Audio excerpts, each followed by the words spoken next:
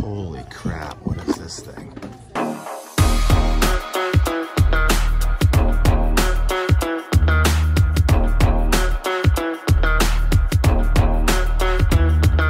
Straight out of the thrift store, looking for toys galore. My name is Burf and this is my turf. I'm straight out of the thrift store.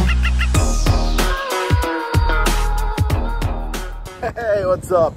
It's your boy Burf. I just came off my Friday thrift run. I was headed home and I decided, I decided to stop at Old Thrifty Pants here in the colony. So I'm gonna pop in here real quick. I was here the other day and scored some Teenage Mutant Ninja Turtles. So I'm gonna see if they got anything else on the shelves. It's 11 o'clock, so the shelves might be picked over. The parking lot's kind of full already, so I'm not expecting to find too much of anything, but who knows? We'll keep our fingers crossed and say our little prayer. Thrift gods, be good to me today. All right, well, let's see what we got. What is this? Unassembled plastic model kit. Oh, it's an alien. All right. And we've got an Optimus Prime. He's kind of cool. Not gonna get him, but he's kind of cool. And check out this thing. It's like a carrying case. I think I saw this one other time at a thrift giant over on the Irving side of town. And we've got this re-engineering truck, which is a remote control. It's kind of neat. And looks like we got a Mandalorian mailbox over here. Let's take this down here and take a little look at it. It's got some stickers. It's kind of fun. I would have probably picked it up if it hadn't been for this guy. I don't like this guy for some reason. But the Mandalorian's cool. So they got this Fisher Price.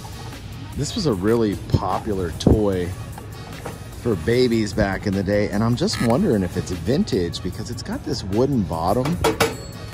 This thing here looks kind of wore and beat. I was trying to see if it had like a, uh, a date on it, but I can't find a date anywhere.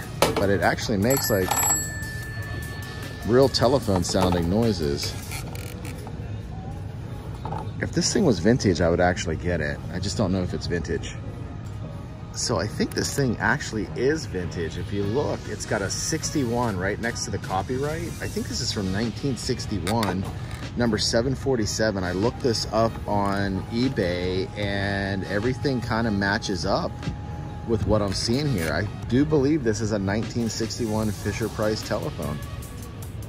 Oh, and then we got this guy right here. This is another, let me see if I can find a date on this guy.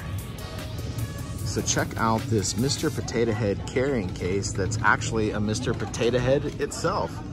So it looks like all the accessories and stuff are inside. And then you can also take those and place eyeballs and a nose and a mouth on them on the outside. It's kind of neat. All right, so I'm gonna put this back on the shelf. It's in pretty rough shape. The uh, phone number paper here is all coming off. It's ripped and torn. You know, it's got a lot of wear on it. It's cool that it's from 1961, but it's beat. However, this is a vintage 1970s Digger dog from Romper Room. And they only want $4.99 for it. I've seen them sell for about 20 bucks on eBay. So I'm gonna pick this guy up. I used to watch Romper Room all the time when I was a kid. Holy crap, what is this thing? Oh man, that is awesome. I am definitely getting this. He looks like, yeah, he doesn't look like he has any broken pieces. He's like a big 24 inch tall one too. And check out this Hulk. Hot Wheels playset. This thing's pretty awesome. And check out this dinosaur, this Triceratops with like this battle gear. That's pretty cool too. Okay, so I thought about getting this guy and was going to get Digger But I think I'm gonna pass on both of those and I'm gonna pick up the droid and the Hulk. Yeah, I'm still thinking about that digger back there, but I think I'm gonna leave him. Yeah, I don't know. I'll think about it a little more. All right, guys. Well, hey, that was kind of a turnaround a little bit. These guys were on a shelf that with other toys, it seemed like they moved some stuff around because these weren't on the normal toy shelf. They were on a toy shelf that looks to be a brand new toy shelf that I've never seen in there before. So they must be adding some shelves, maybe getting ready for Christmas sort of thing. so, but anyway, um, we'll get in the car and we'll take a quick look at these guys, do a little show and tell. Okay, so this is a Hulk Hot Wheels spin and smash and it has a racetrack that you connect on both sides. And then what you do is you take Hulk and you spin him and you try to get your car to go through this area without him smashing it. So this thing is pretty cool. I saw it selling on eBay for about 20 or $22 or something like that without the track.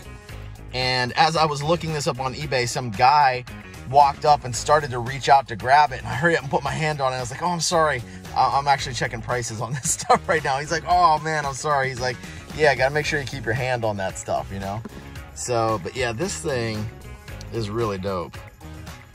And then we got this giant 20 inch Rogue One droid. I can't remember the name of this droid just because I'm not really that into the new Star Wars. I'm into the original trilogy.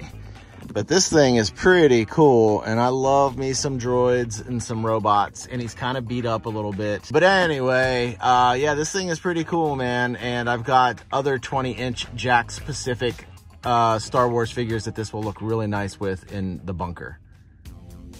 All right, well, hey, you know what? That was actually pretty good. This Thrift Giant, the last two times I've been there, we've scored some stuff out of it, which is awesome, and it makes me feel good. It's I got my flair, you know? The flair is bringing me some luck. But hey, if you're enjoying watching this content as much as I'm enjoying making it for you, do me a favor, smash that subscribe button and turn on notifications so you're always first to be notified of the next episode. Let me know uh, any of the stuff that I put back on the shelf or I considered getting that I didn't get. Would you have gotten it? Like that digger dog, I like, part of me is just like, I should have got that thing, you know? But then other part of me is like, it's a baby toy, you know. I remember having something like that when I was a kid. Maybe not that specific dog necessarily. I don't remember. I was a baby, you know what I mean? So, but I do have some memories of seeing that in a toy box or something when I was a little older. But would you have picked that up? Would you have gotten that? Or would you have went ahead and bought that 1961 Fisher-Price telephone? Even though it was beat up. So anyway, give me a follow on Instagram and Tickety Talk at 80s Toys Roc and Rock is spelled R-O-C. In the meantime, Hulk smash. I'll catch you on the flip side.